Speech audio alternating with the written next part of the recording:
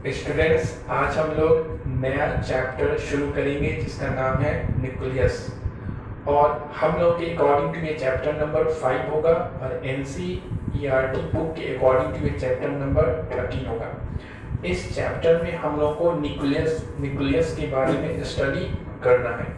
तो न्यूक्लियस क्या होता है? तो पिछले वाले चैप्टर में हम लोगों ने रदरफोर्ड एटॉमिक मॉडल इसमें हम लोगों ने देखा था कि न्यूक्लियस क्या होता है? किसी भी एटम का वह सेंटर जहाँ जहाँ टोटल पॉजिटिव चार्ज और ऑलमोस्ट टोटल मास कॉन्सेंट्रेटेड रहता है, उस सेंटर पॉइंट को कहा जाता है न्यूक्लियस किसी भी एटम का सेंटर वह सेंटर पॉइंट जहाँ पर एटम का टोटल पॉजिटिव चार्ज और लगभग टोटल मास कॉन्सेंट्रेटेड रहता है, उस पॉइंट को उस सेंटर पॉइंट को कहते हैं न्यूक्लियस अब ऐसा क्यों बोलते हैं? तो ऐसा इसलिए बोला जाता है क्योंकि सेंटर में, यानी कि अगर ये एटम मान लें और ये अगर इसका सेंटर पॉइंट माने तो यहाँ पर, यानी सेंटर में प्रोटॉन होता है और न्यूट्रॉन होता है। और बाहर में इलेक्ट्रॉन होता है। इलेक्ट्रॉन के बारे में हम लोग जानते हैं कि इलेक्ट्रॉन निगेटिवली चार्ज पार्टिकल होता है और प्रोटॉन पॉजिटिवली चार्ज पार्टिकल होता है और न्यूट्रॉन न्यूट्रॉन न्यूट्रल न्यूट्रल होता है। इस पर कोई चार्ज नहीं होता है। तो जितना भी, यानी कि प्रोटॉन प्रोटॉन सेंटर पर होता है, यानी टोटल पॉजिटिव चार्ज कॉन्सेंट्रेटेड रहता है सेंटर पर। और हम ये भी कहा जाता है कि लगभग टोटल मास यहाँ पर कॉन्सेंट्रेटेड रहता है। लगभग इसलिए कहते हैं क्योंकि अगर एटम के मास के बारे में बात करते हैं तो मास डिपेंड करेगा प्रोटॉन के मास पर न्यूट्रॉन के मास पर और इलेक्ट्रॉन के मास पर।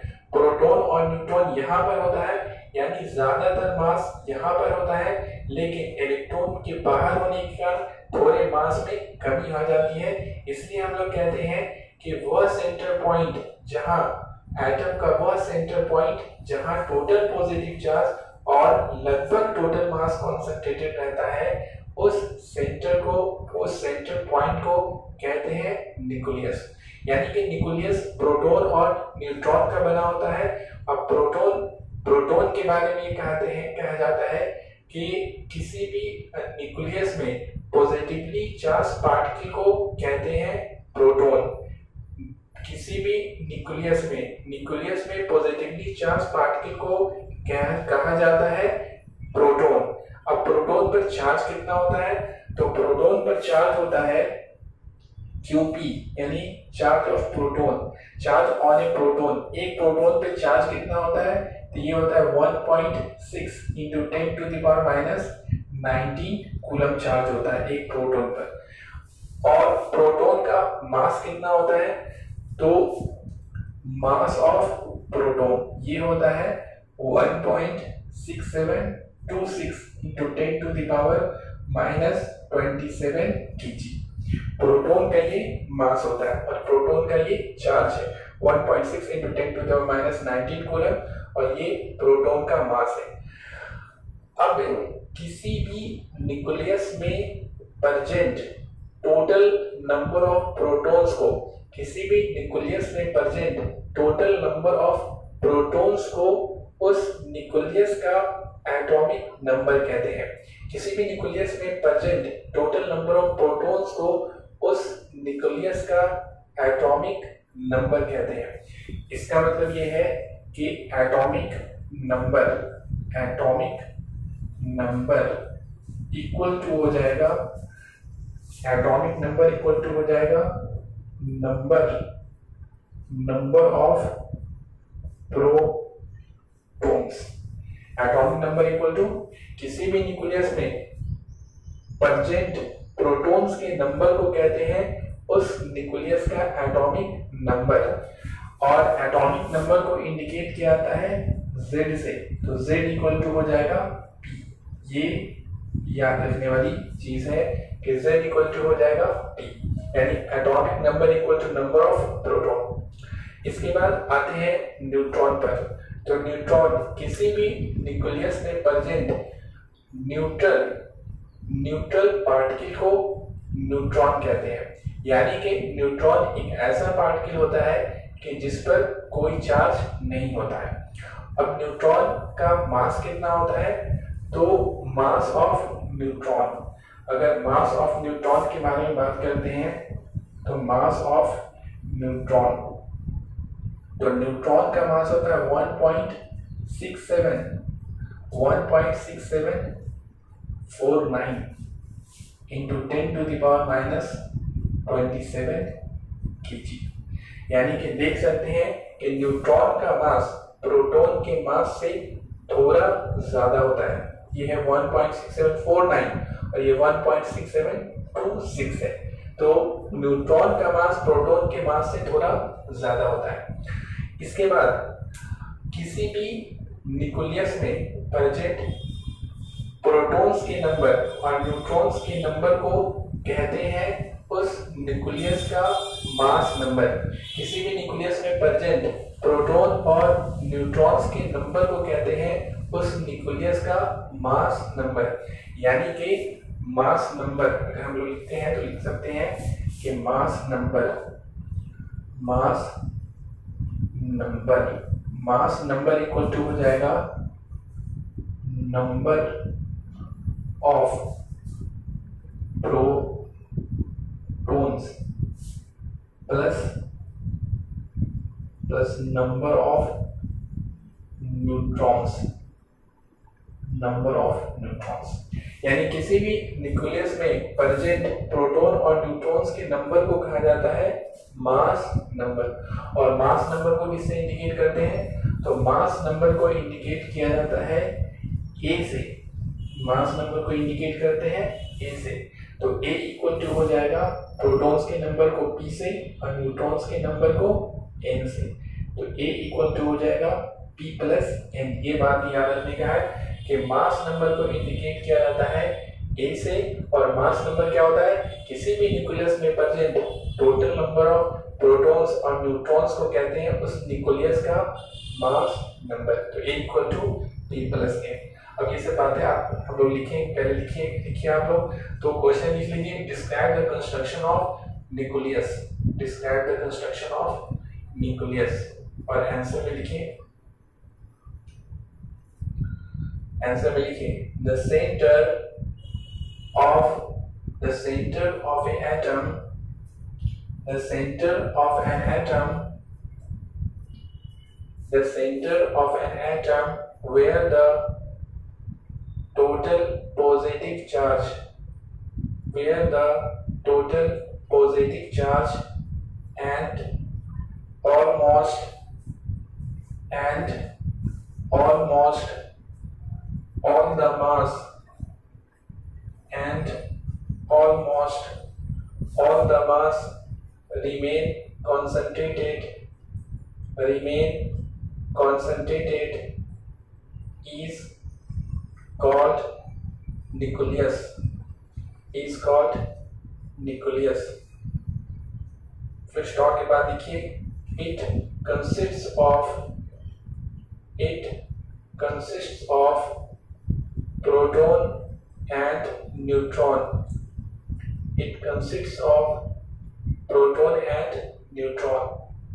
उसके बाद लिखिए नीचे वाले लाइन में लिखिए, नीचे वाले लाइन में लिखिए प्रोटॉन प्रोटॉन लिख करके डैश दीजिए और फ़र्स्ट नंबर बना के लिखिए इसमें.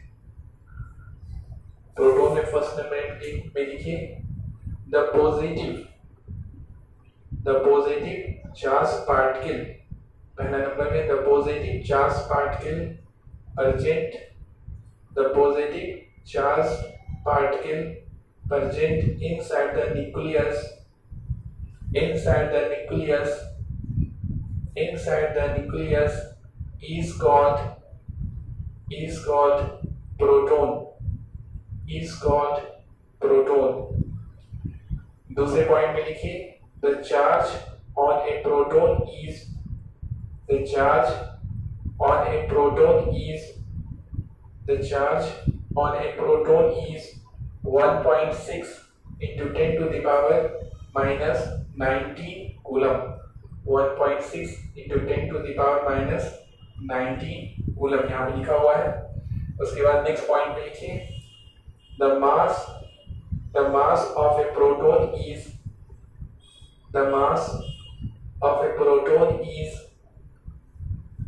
1.6726 1.6726 into 10 to the power minus 27 kg into 10 to the power minus 27 kg ये भी यहाँ पे लिखा हुआ है उसके बाद लिखिए नेक्स्ट पॉइंट में the number of the number of protons present inside the nucleus the number of protons present inside the nucleus the number of protons present inside the nucleus is called is called atomic number is called atomic number of the nucleus. Atomic number of the nucleus नीचे में लिखिए that is आई करके लिखिए that is atomic number equal to number of protons नीचे में लिखिए that is atomic number equal to number of protons और उसके बाद देखिए लिखना है? Z equal to p. Atomic number को z से और प्रोटॉन के नंबर को p से इंडिकेट करते हैं तो z इक्वल टू हो जाएगा, p हो जाएगा. इसके बाद लिखिए उसके बाद अब नीचे में लिखिए न्यूट्रॉन इसके बाद लिखना है न्यूट्रॉन। और न्यूट्रॉन लिख करके डैश दीजिए और फ़र्स्ट पॉइंट में बना के लिखिए, उसी तरीके से पहले पॉइंट में लिखिए न्यूट्रॉन में। The neutral the neutral particle present inside the nucleus the neutral particle present inside the nucleus is called the neutral particle present inside the nucleus is called neutron. Is called neutron. Second point mein likhiye there is no charge on the neutron. There is no charge on the neutron. There is no charge on the neutron. Iske baad third point mein likhiye the mass of a neutron is the mass of a neutron is the mass of a neutron is और लिखिए 1.6749 1.6749 into 10 to the power minus 27 kg minus 10 to the power minus 27 kg उसके बाद next point में लिखिए the number of protons and the number of protons and neutrons present inside the nucleus the number of protons and neutrons present inside the nucleus present in inside the nucleus is called is called mass number of the nucleus mass number of the nucleus mass number of the nucleus and it is denoted by and it is denoted by and it is denoted by a capital A mass number को denote किया जाता है capital A से नीचे में लिखिए that is आई करके लिखिए mass number equal to number of proton plus number of neutrons यहाँ पे लिखा हुआ भी है मास नंबर इक्वल टू लिखना है number of protons plus number of neutrons लिखना है। और मास नंबर के नीचे लिखिए ए ए इक्वल टू हो जाएगा पी प्लस एन जहाँ पी हो जाएगा प्रोटॉन का नंबर और एन हो जाएगा न्यूट्रॉन का नंबर तो A equal to B plus N हो जाएगा। A equal to B plus N इस तरीके से ये हमारा कंप्लीट हो गया कंस्ट्रक्शन ऑफ़ न्यूक्लियस अब आगे हम लोग पढ़ेंगे स्टडी करेंगे। यहाँ पर स्टडी करना है। रिलेशन बिटवीन यहाँ पे स्टडी करना है। Relation relation between atomic relation between atomic number and mass number atomic number और मास नंबर में रिलेशन देखना है।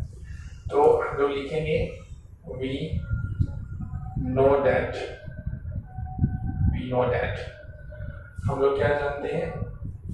एक मिनट।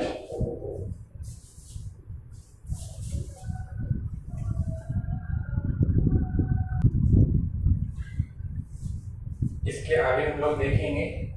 आ, हम लोग को देखना है रिलेशन बिटवीन एटॉमिक नंबर और मास नंबर तो वी नो दैट हम लोग क्या जानते हैं कि अभी हम लोगों ने ये देखा कि ए इक्वल टू होता है बी प्लस एन यानी मास नंबर इक्वल टू होता है number of proton plus number of neutron इसको फ़र्स्ट मान लेंगे लिखेंगे ऑल्सो ऑल्सो हम लोगों ने क्या देखा कि z इक्वल टू होता है p होता है। इसको इक्वेशन सेकेंड मान लेंगे। तो from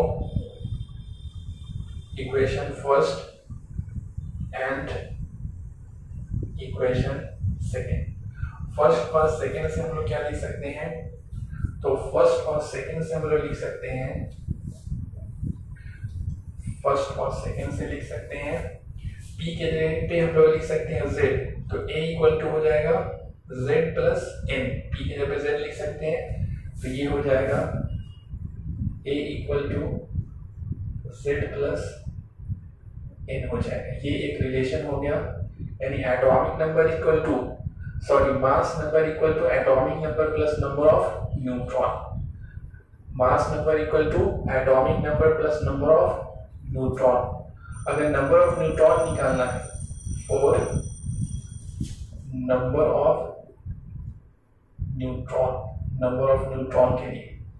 नंबर ऑफ़ न्यूट्रॉन के लिए क्या करेंगे? जेड को इधर लेके जाएँगे।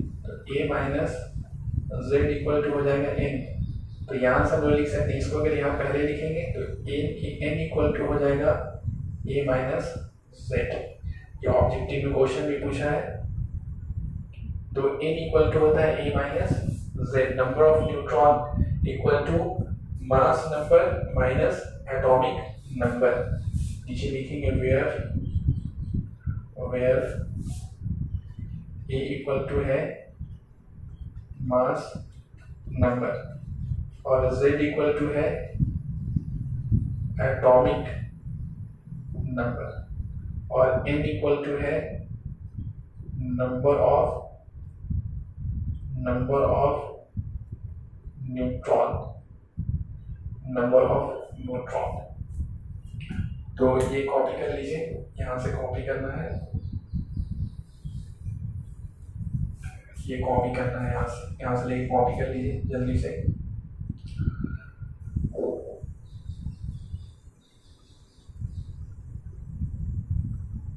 ठीक है? इसके बाद आगे हम लोग को स्टडी करना है। Representation representation of nucleus. Representation of nucleus nucleus को कैसे रिप्रेजेंट करेंगे? तो न्यूक्लियस को रिप्रेजेंट करने का दो तरीका है। एक है z यहाँ पर होगा और e यहाँ पर होगा। या फिर दूसरा तरीका है x z यहाँ पर और a यहाँ पर। और जहाँ ये क्या है? ये है आपको मास नंबर और z क्या है? ये है एटॉमिक नंबर और ये x क्या है? ये है chemical chemical symbol of element किसी भी एलिमेंट का ये केमिकल सिंबल है जहाँ पर, यहाँ पर।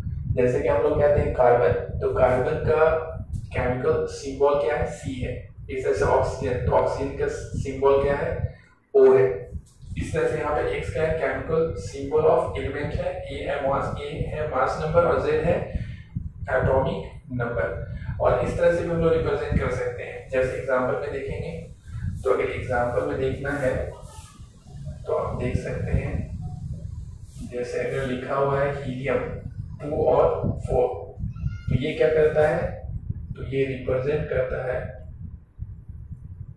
represents helium nucleus having having atomic number, having atomic number 2 and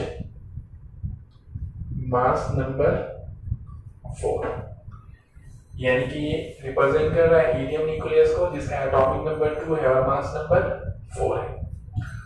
इसके बाद इसी तरीके से लिख सकते हैं यूरेनियम 92 238 92 238 तो इसमें क्या लिखेंगे? इसमें हम लोग लिख सकते हैं represents uranium.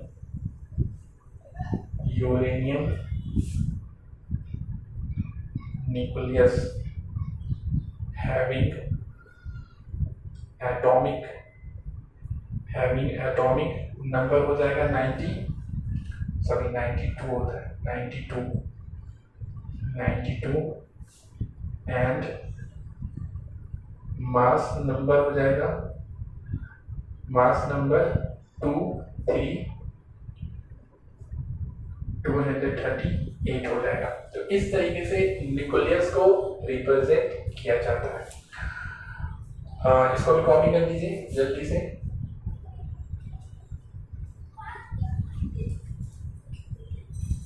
ठीक है? इसके आगे जैसे कि अगर आपको कहेगा क्वेश्चन में ये कहता है कि find the find the number of number of neutron find the number of neutrons present in the uranium 92 238 कह रहा है कि यूरेनियम न्यूक्लियस में प्रेजेंट नंबर ऑफ़ न्यूट्रॉन्स को हम लोग को निकालना है। तो बहुत आसान है। हम लोग लिखेंगे गिवन क्या क्या दिया हुआ है? तो यहाँ पर जो होता है, वो होता है एटॉमिक नंबर यानी z इक्वल टू दिया हुआ है 92 और यहाँ पर होता है मास नंबर यानी a इक्वल टू दिया हुआ है 238 वी नो दैट हम लोग क्या जानते हैं? अभी हम लोगों ने देखा कि नंबर ऑफ़ न्यूट्रॉन एन से नंबर ऑफ़ न्यूट्रॉन न्यूट्रॉन निकालना है तो एन इक्वल टू होता है ए माइनस जेड होता है। तो यहाँ से हम लोग लिख सकते हैं एन और ए की जगह पे क्या रखेंगे 238 और जेड की जगह पे 92 इसको सब्सट्रैक्ट करेंगे, ये हो जाएगा x से टू जाएगा तो 6 और में से 9 तो 4 और यानी कि हमारा आंसर आ गया नंबर ऑफ़ न्यूट्रॉन्स का 146 तो इस तरह से हम लोग किसी भी न्यूक्लियस का न्यूक्लियस में प्रेजेंट नंबर ऑफ़ प्रोटॉन्स को निकाल सकते हैं इस फॉर्मूला से। आखिर हम ये कहना चाहेंगे कि अगर आपको वीडियो अच्छा लगे तो अच्छा लगा तो आप लाइक करें और कमेंट्स करें और हमारे चैनल को अगर आपने सब्सक्राइब नहीं किया तो सब्सक्राइब करें और शेयर भी करें। Okay.